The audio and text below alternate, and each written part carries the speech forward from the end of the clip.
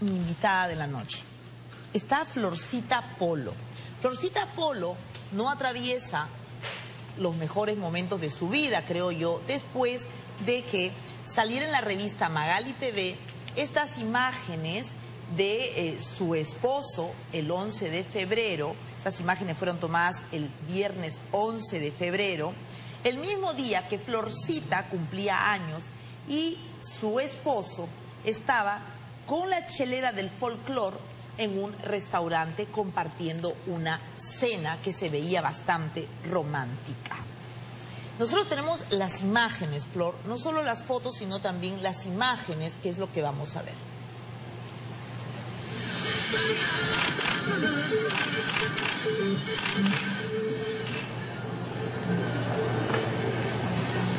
Mira, ahí está, mira, están juntos, eh, se les ve igual que en las fotografías, comparten de ese mismo, parece ser una piña colada o alguna cosa, los dos toman del mismo, ahí miran la cena, ¿no? Eh, parece que estaban celebrando. Están juntos, ¿no? Claro, celebraban, parece el, eh, tu cumpleaños, ¿no? De manera solitaria. Hoy mira cómo le agarra la cabeza a ella, hoy le arregla el pelo. ¿Has visto? ¿Has visto la mano? Mira. Oh, lo mira así toda embelesada, lo mira ella, mira sus ojos. Y luego él, él, mira él. Él la cariña, le pasa el pelito por detrás de la oreja. Hay toda una, esas situaciones de, parece una especie de, de coqueteo, ¿no? Y ese día, ese día 11 de febrero, era el día en que Flor cumplía 25 años y lo iba a celebrar en el Holiday de Santa Anita, a donde después van ellos dos. Ellos siguen ahí muy juntitos, a ver, no veo bien, están bien juntitos ahí, ¿no? Hay un momento en que después, que le habla al oído, él le habla al oído, está hablándole al oído, ¿no? ¿No? Le está hablando al oído. ¿Ves? Ahí, ahí, creo que él le habla al oído él le habla al oído en ese momento. Le habla al oído mientras comparten su traguito y ella se ríe de lo que le ha dicho. ¿Qué le diría? No lo sabemos.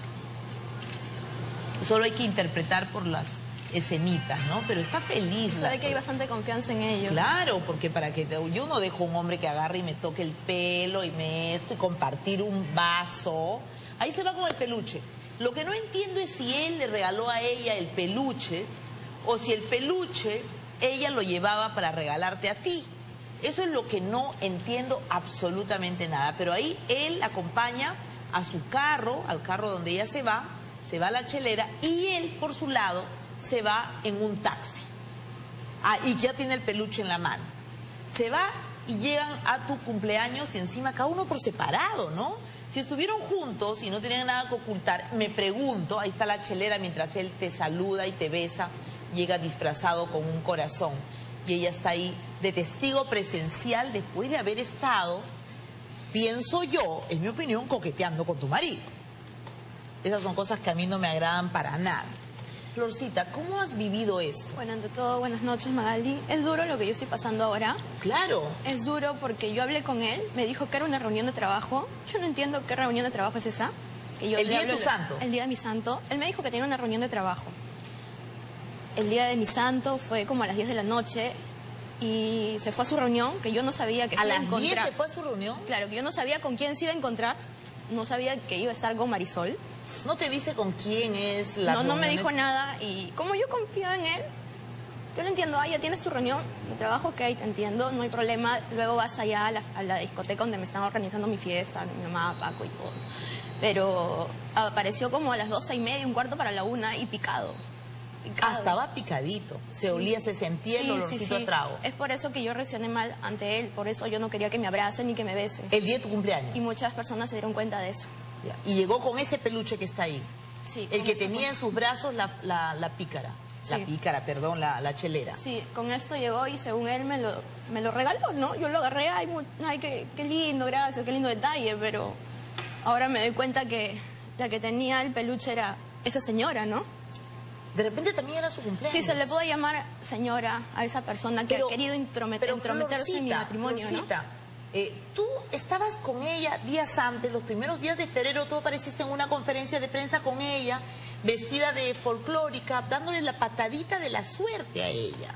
Me contrató para trabajar con ella, Magali.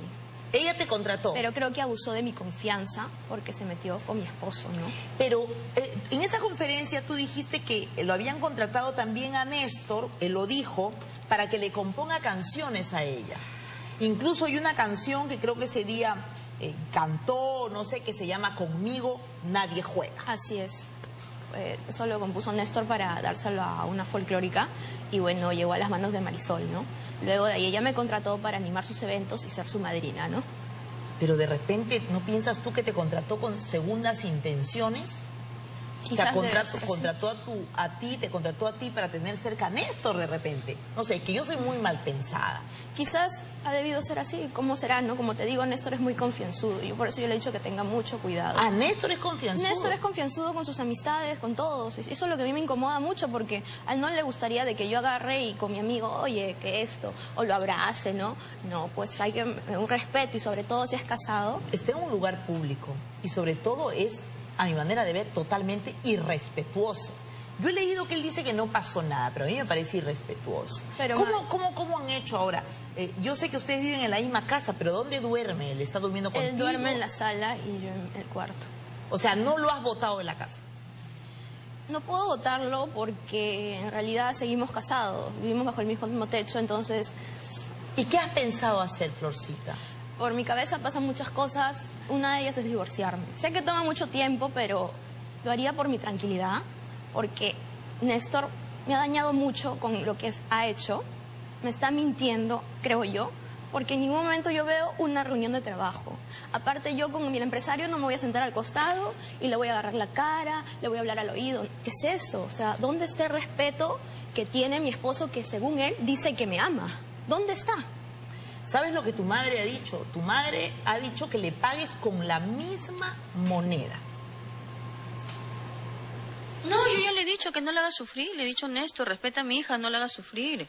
Este, yo, mi hija está sufriendo porque no tiene repuesto. Yo que ella ya veo un hombre así, yo lo- le hubiera pagado con la misma moneda. Hubiera buscado algún uno de la farándula, me hubiera ido también a un restaurante ahí y, y en tu mismo cumpleaños estaría lo mismo. Yo, yo no sé que voy a aguantar estas cosas. Yo no aguanto así. Eso es lo que ha dicho tu mamá, pero ¿tú harías eso? No, no, no creo. No me gustaría hacer lo mismo que... ¿Solo por venganza y por despecho? No, para nada. Yo sigo adelante y sé que estas cosas, no sé por qué siempre me tienen que pasar a mí. Tú sabes mi historia. ¿Cuántas desilusiones me han pasado? Y una más ya es demasiado, ya es demasiado. Yo confié en él. Yo, o sea, di todo por él. Y no es posible que me pague de esa manera. No es posible. Tu papá también dijo algo al respecto, Polo Campos. Yo estoy seguro de Néstor, yo estoy seguro de que Flor se molestó y está bien. Ese es un anuncio que hace el perro bravo para que ella la próxima vez te como las orejas. Pero ya sabes que yo muerdo aunque me parezca, pero cuando sepa que es, mira, no te muerdo, te como a pedacitos. Así. Es, es brava la Flor. Es brava, dice tu papá, te conoce. Pero él piensa que ahora solamente le debes de dar un jalón de orejas y que la próxima ya te lo comes con zapatos y todo. Qué jalón de orejas, Mali. Ahora viendo las imágenes es algo totalmente distinto. O sea, yo quería ver esas imágenes porque sabía que de repente habían y ahí se ve la realidad de las cosas. ¿Y él qué te dijo a ti para justificarse? Me dijo que Marisol le había llamado justamente ese día porque la señora Marisol sabía muy bien que era mi cumpleaños. Estaba invitada. Estaba invitada, incluso dice que le dio el peluche porque no iba a poder ir a mi cumpleaños, pero se apareció por ahí. Se apareció. Yo no entiendo por qué. Y tú la recibiste muy bien ese día a los Claro, dos. porque como te digo, me pareció una persona buena, chévere y todo, pero no pensé que iba a abusar de mi confianza haciendo que me quedar mal. O sea, se ha metido en mi matrimonio. O sea, ella no sabe lo que está causando. Yo ahorita estoy a punto de divorciarme de Néstor. Es un matrimonio que tiene do- dos meses y no es posible que quiera hacer esto. No es posible. Pero también tienes que tener en cuenta que él también tiene su parte de culpa. O de Porque repente él le fue el primero que te faltó el respeto.